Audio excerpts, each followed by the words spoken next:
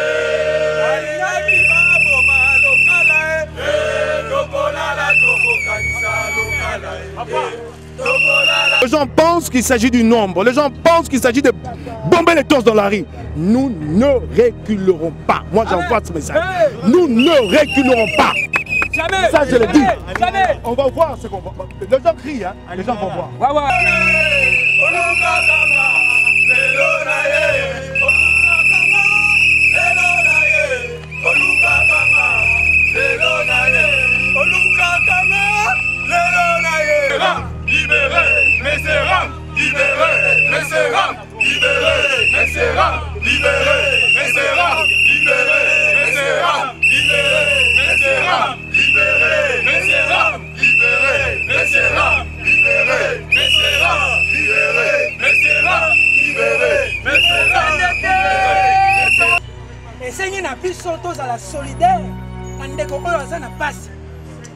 moto oyo akangisi ndeko na biso aza journaliste oyo babengana na corporation na biso ye atravayaka na ministre kibasa yango biso toye epa ministre kibasa topesa ye memo na biso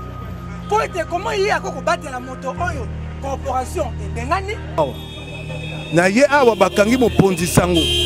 na nzela ya mabe babuki mibeko yango na ye kotombola mongongo na ngai yali mopanzi sango ya liboso bakanga te bakomokanga mapanzi sango mbala o mbala ntango ya kabila tozala bate makambo ya boye kosama esu te so bokonzi ya mbongo wana ekomi bokonzi ya mbongo wana ekomi makambo ya boye ezosalama yango na ye kosangisa mongongo na ngai na ya bapanzi sango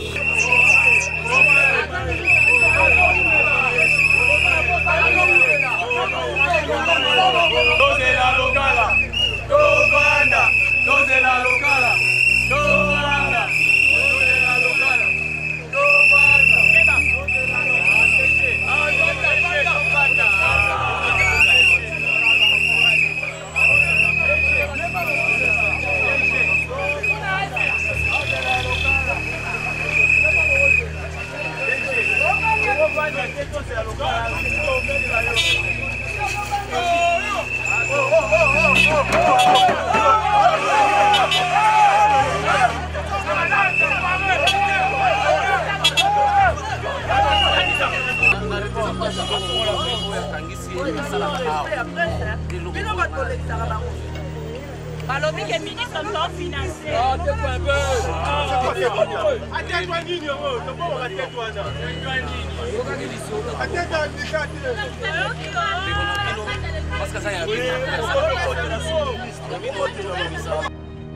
Peter Tiani a lobé lié deux mots. Premièrement, a lobé lié que tozo komilite mpo na liberation ya ndeko nyonso patrick lokala oyo akangami awa par un ex confrère radier de l'unpc joseph kazadi oyo asalaka epa monsieur kibasa soki dans 48 heures monsieur lokala vice-président ya unpc abimi te tokozonga lisusu awa lendi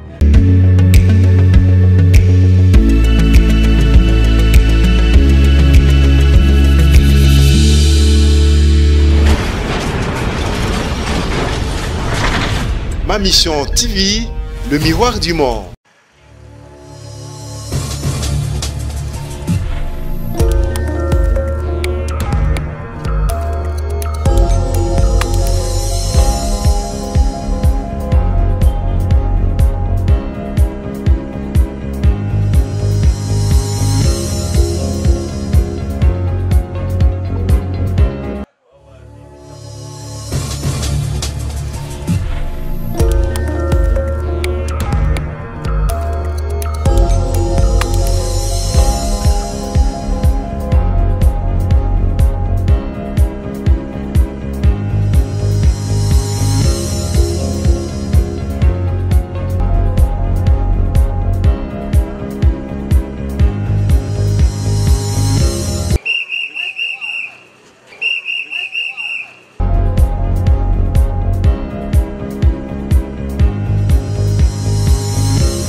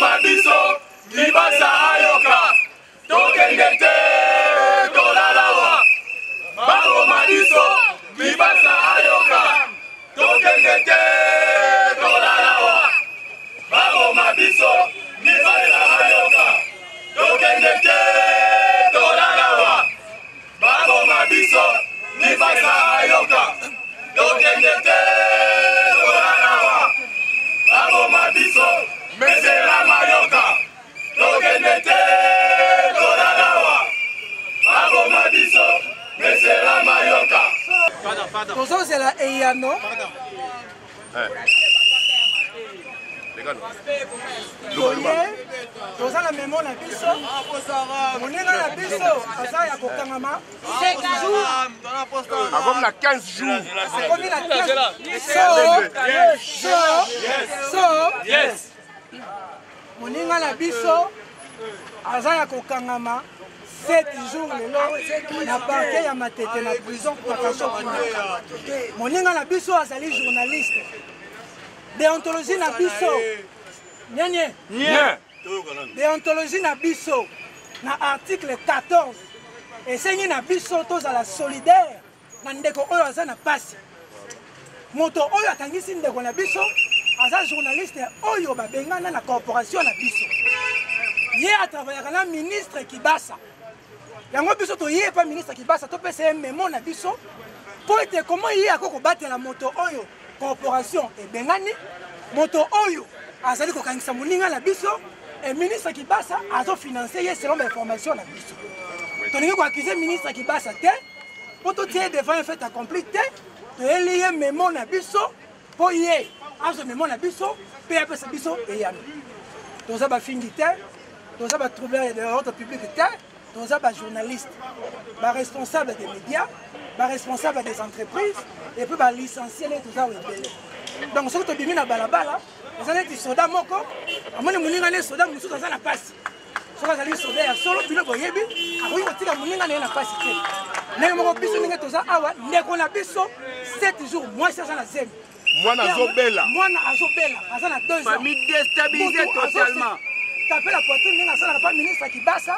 donc ye aza na capacité ya kosala ndeko na biso mpasi yango biso ndenge tozali awa boye soki tomoni ministre te bokolimbisa biso na kobuta esika oyo ndeko na biso akokozala na place te ministre efo apesa biso eyano lelo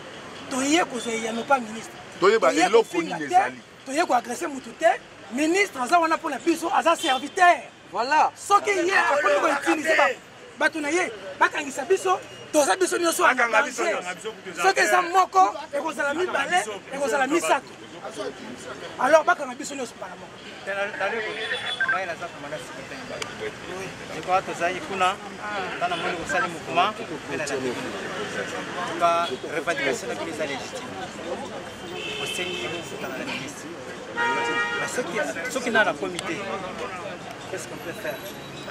bayebisi biso bapesi biso bainformation kaza en tant que bajournaliste bayebisi biso ke ministre aza na kati mokomanda mokomanda mokomanda mokomanda tozalaki esika moko boye Yes. Yes. Yes.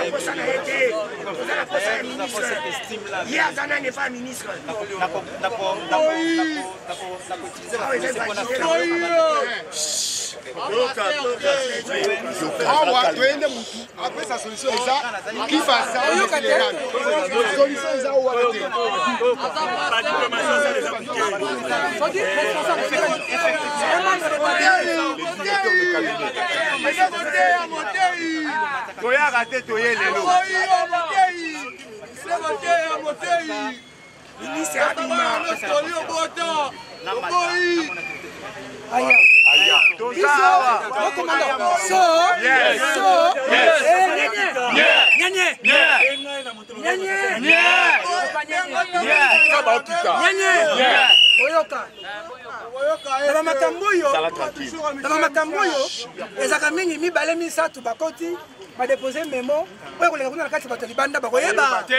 biso tokosenga soki toza na mposa kokutana dirkab soki aza longwa kuna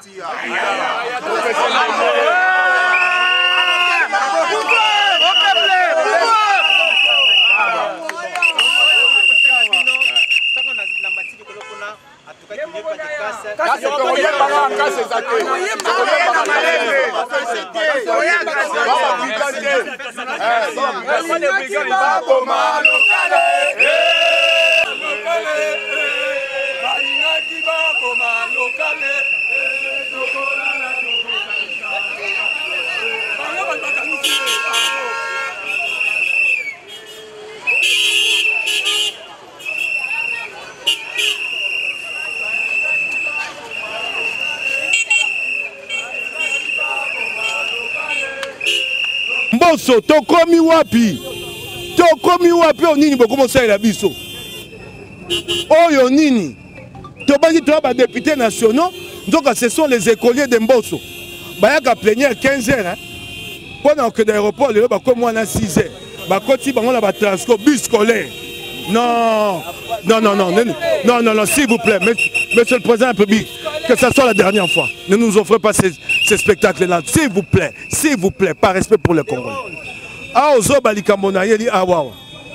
na ye awa bakangi mokonzi sango na nzela ya mabe babuki mibeko yango na ye kotombola mongongo na ngai yali mopanzi sango ya liboso bakanga te bakomokanga mapanzi sango mbala o mbala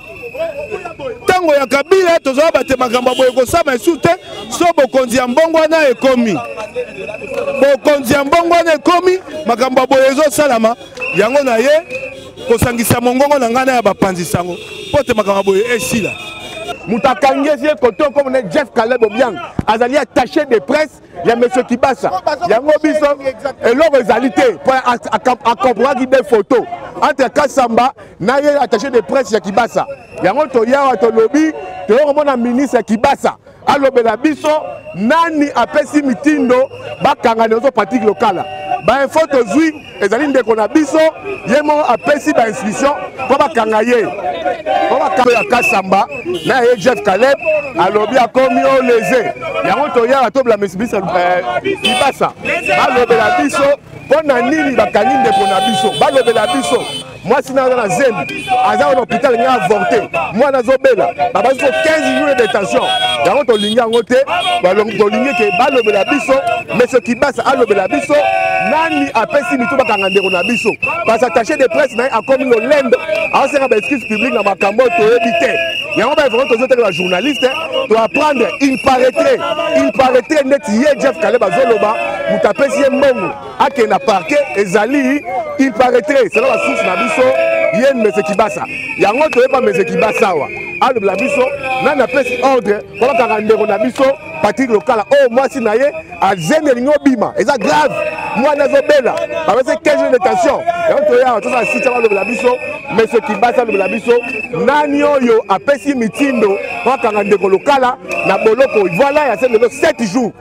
yango totelemi awa okay, merci beaucoup.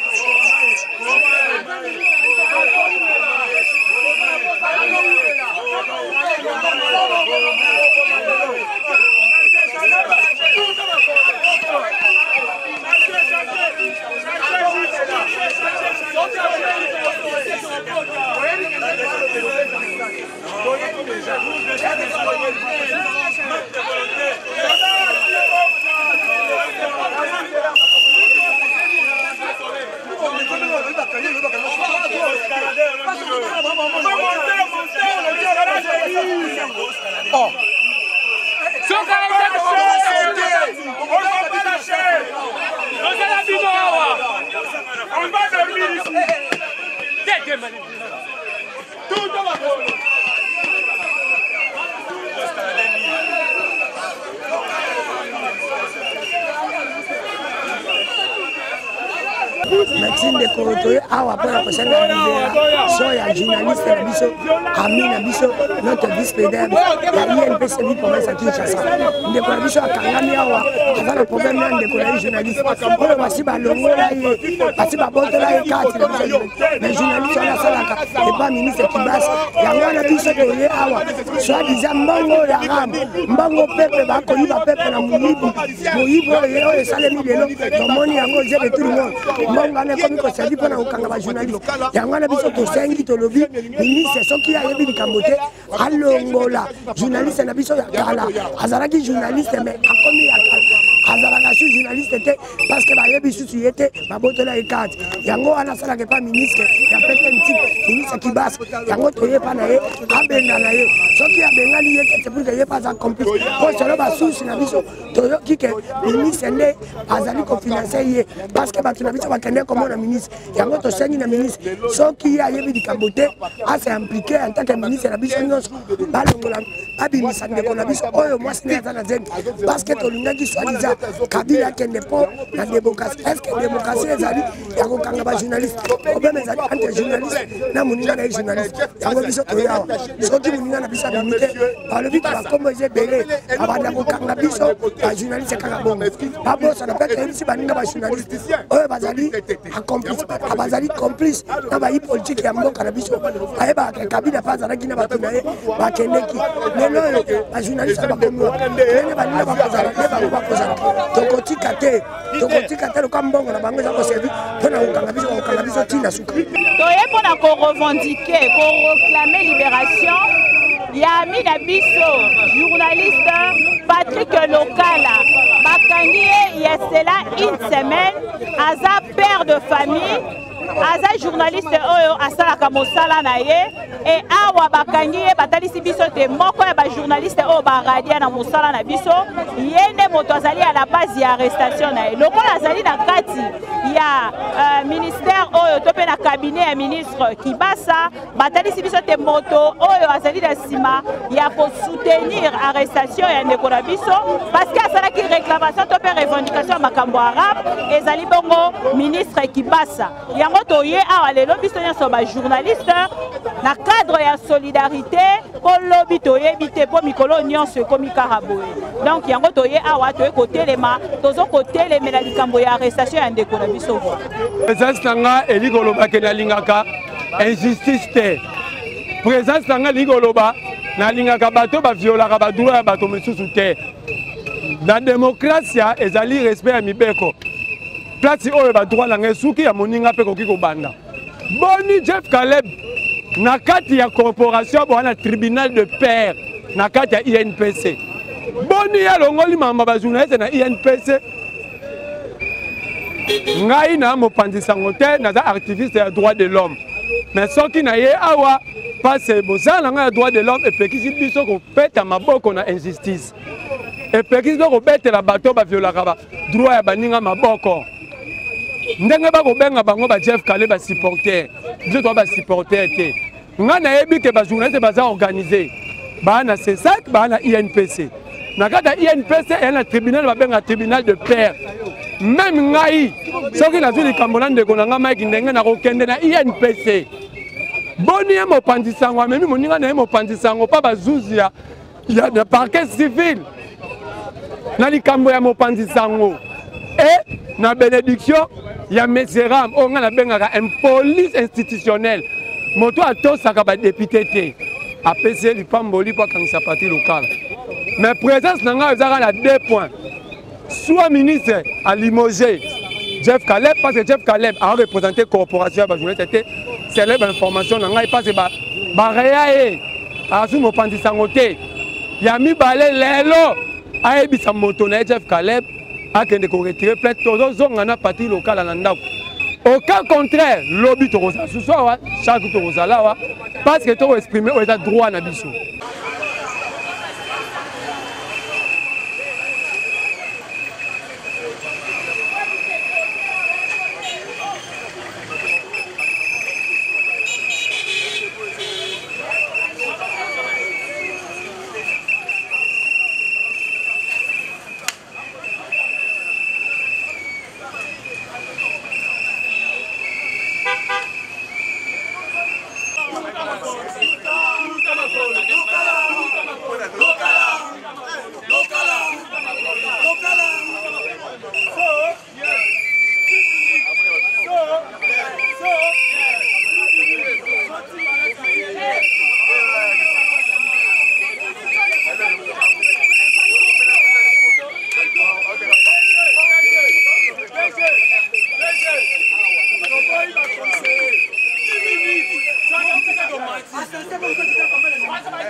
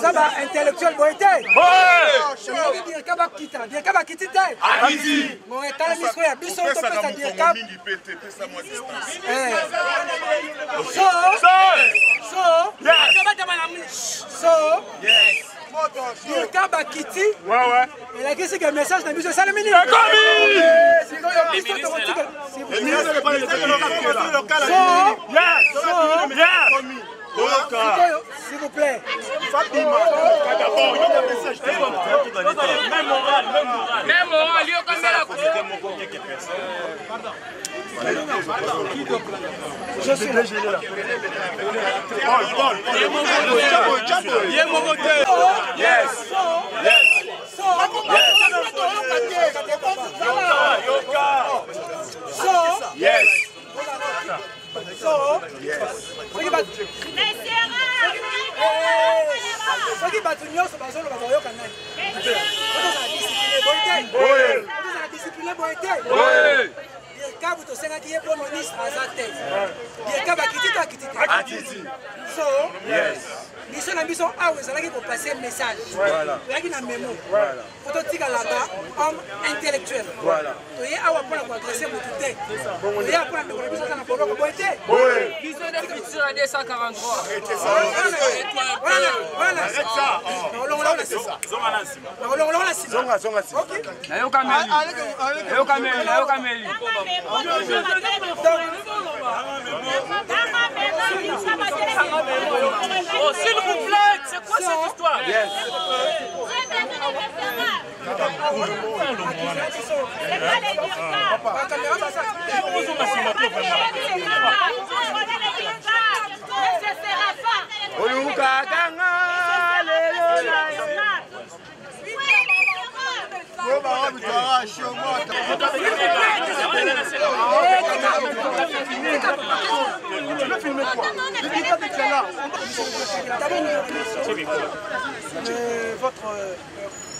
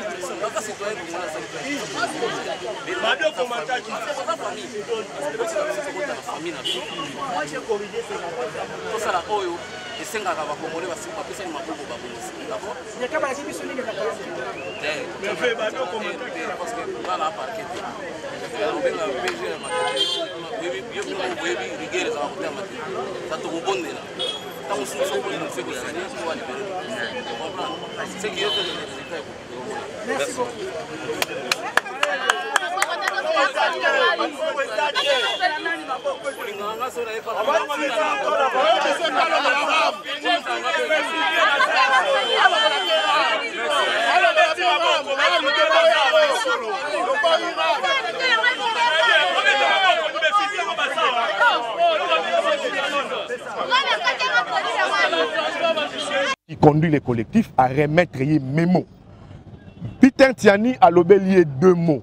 Premièrement, a lobé lié que tozo ko militer pour la libération de notre Patrick Lukala. Oya Kangami Awa par un ex-confrère radié de l'UNPC, Joseph Kazadi, Oyo Asalaka et pas Monsieur Kibasa. Toza na ba information, nyon surtout toza na yango que Monsieur Kibasa nde azoli ko entretenir monsieur euh, Kazadi Caleb mpo na ete ndeko na biso lokala atikala na boloko lokala asali 5 jours na, na, na par, une semaine presque na 7 jours ndenge balobeli ngai na parke ya matete bapesi ye détention moko susu ya plus de 15 jours sans motivation valable topesi memo son directeur de cabinet M. monsieur kibasa ministre des pétentique nous a rassuré que eux à leur niveau ils vont saisir les parquets pour que dans les heures qui suivent la, la, de 48 heures je pense 48 heures pour que ndeko Patrick Lokala va relaxer. Tolobeli EP, soki dans 48 heures monsieur lokala vice président ya unpc abimi te tokozonga lisusu awa lendi tokomobilize lisusu mpo ete to exige liberation na ye elingi oloba nini tokolemba te toloma bitumba oyo ti na suka ti na lifo mpo neti bakino balobaka mpo na ete monsieur rame monsieur kibasa alibere ndeko na biso Patrick Lokala oyo boyebi mwasi na ye aza na etat moko très critique son fils est très malade boyebi eloko esalaka soki papa aza na ndako te mwasi azobela mwana azobela seke safe mwasi aza enceinte azozela mwana aza na hôpital mwana azobela et tout ça à cause de Jeff Caleb qui est ici attaché de presse de monsieur Kibasa yango ba garantir biso ils vont mouiller mayo dans 48 heures pour être que monsieur ndeko na biso Patrick Locala, Abima Naboloko. Et Zali va garantir aujourd'hui venant du représentant du ministre, son directeur de cabinet, M. Serafin. Je tiens au nom du collectif, je tiens à remercier confrères et consoeurs ici présents qui ont répondu à l'appel des, des, des sociétaires de l'UNPC exige la libération de notre confrère et ami Patrick Lokala, qui est vice-président de l'UNPC Ville Kinshasa. Nous avions commencé notre sitting in d'aujourd'hui euh, vers l'hôtel de la Gombe. Nous avions mené notre procession de l'hôtel de la Gombe jusqu'à la devant l'hôtel du gouvernement. Nous tenons à vous remercier, consoeurs et confrères, pour la mobilisation. À cet effet, Monsieur le ministre n'était pas présent. Il a délégué son directeur de cabinet, Monsieur Serafin, Maître Séraphin, à qui les collectifs, via l'entremise de Peter Tiani, a remis un mémo disant, fustigeant l'arrestation de notre confrère Patrick Loukala. De sa part, les représentants du ministre, Maître Séraphin, nous a garanti que dans 48 heures, les cabinets, pas, M. Jeff Caleb, de la corporation, mais les cabinets, M. Kibassa, va, euh, va se déployer pour que M. Euh, Patrick Locala soit relaxé dans les 48 heures. En contrepartie, nous leur avons dit, au cas où Patrick Locala n'était pas relaxé, nous reviendrons ici le lundi pour renouveler cette mobilisation jusqu'à ce que nous obtiendrons la libération de notre ami pratique locale dont la femme est dans un état très critique, elle attend de leur famille, mais l'info que je vous donne, elle est sur un lit d'hôpital. L'enfant était malade, vous savez ce que ça représente dans un foyer, quand les responsables et les papas n'est pas là, et c'est la catastrophe. Alors, comme garantie, nous avons obtenu sa libération dans les 48 heures. C'est le message que je puis vous lancer. Si au cas où Patrick n'était pas libéré, en dehors de 48 heures, nous allons encore renouveler cette mobilisation jusqu'à ce que nous allons obtenir sa libération. Merci.